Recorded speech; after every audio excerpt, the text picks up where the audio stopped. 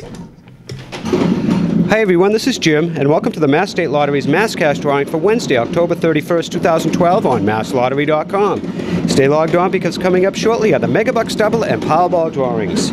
But first, let's see how you did in tonight's Mass Cash drawing. Our first number up is number 18.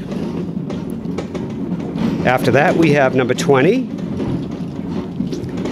And here comes number 35. If you've matched these three numbers, you've already won a prize.